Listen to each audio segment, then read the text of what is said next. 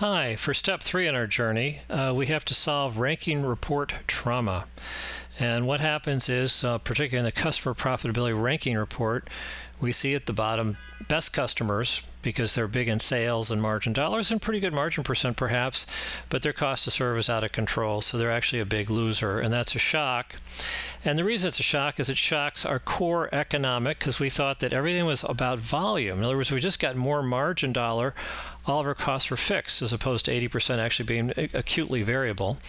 Um, so we can't believe that you know this isn't good and we we still want to think that right now in this moment every one of our costs for this business is it's here. We're all here. We're all getting paid health insurance etc so every dollar margin counts in the minute right now as opposed to well wait a minute. Why don't we turn lose lose into win win and get 20% more volume?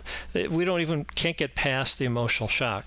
Secondly you know salespeople typically are paid to not believe what they're seeing. If they're paid on margin dollars, margin percent, they are grabbing their wallet with both hands and freaking out. So how do we how do we how do we deal with this problem? Um, it also number two here discounts the wisdom of the leaders, the veterans, the experts. In other words, when we start to look at the bottom of the report, and then we right click and we look at you know the, all the uh, the invoices rank from most profitable unprofitable and look at the detail on the unprofitable emergency order items. And we look at all the SKUs that a given customer bought from the most profitably unprofitable. And we start to build scenarios of what's really going on. This is new territory. You know most people in distribution have never looked through this lens. They've never looked into this world. And you know people look at to the big guys to sort of have the answers. And the big guys always had the answers because they'd been around forever and know how things work in this industry. So it's very difficult for us to go from being expert to beginner uh, in front of other people asking just honest, dumb questions. So what happens is uh, people will immediately start to nitpick the cost to serve model. They'll say basically, you know, gotcha, this isn't perfect. We're overstating this. We're understating. Look at the allocation. The allocation doesn't really take into account this dynamic variable, you know, whatever. It isn't perfect. Therefore, let's go back to the status quo, is what they're saying. In other words, this system isn't perfect, so let's go back to financial management, which is magnitudes less perfect than this one. But you know what they're really just saying is, I don't want to change. So what happens is by nitpicking the model, uh, you know, I'm thinking now in terms of waypoint relationship, uh, you know, editing this, changing that, whatever, five to seven repetitions, rerunning it, re-ranking it, realizing, my gosh, the rankings never change. Super winners are always super winners, and super losers are super losers. You know, plus or minus, you know, 10, 15 percentage points, but they're still super super each way. So we start to comfort zone. We're sort of getting ready to sort of say, you know, I'm starting to accept that all the costs are real. There is no free lunch.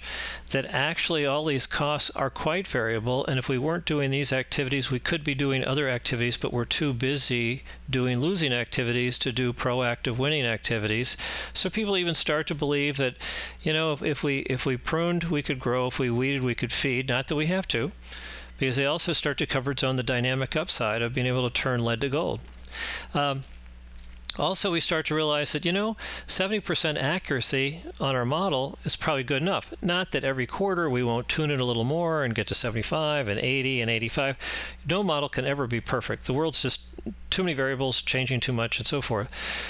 But again, if a customer is losing $10,000 we could make an you know well but but but but but but and we could get get the loss down to 7000 but they're still losing 7000 and we could say yeah but maybe maybe maybe maybe and we could get up to 13000 who cares it's a loser and if we do a P&L for them, we can identify how they are losing on TPC elements, uptime elements, their next next step value chain satisfaction elements. And so we've got a story, a conversation to go out and and start to change of, of lead to gold. Um, and then we have to let people off the hook. I mean, it's all about ego and saving face. That's just reality as human beings, part of the scene.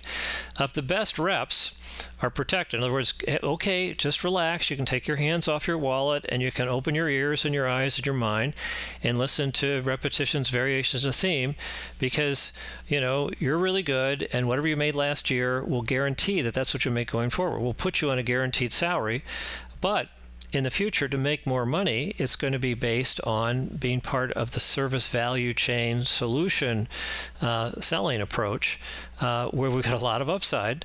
Uh, so the, the, the, the run could be pretty good for a while until it matures.